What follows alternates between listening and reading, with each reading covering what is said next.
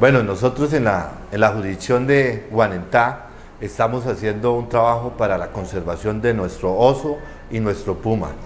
Eh, ese trabajo se viene haciendo en cuatro municipios, en el municipio de Charalá, Encino, Coromero y Gámbita. Es un corredor de más de 70 mil hectáreas por donde hemos detectado presencia de nuestro oso y de nuestro puma.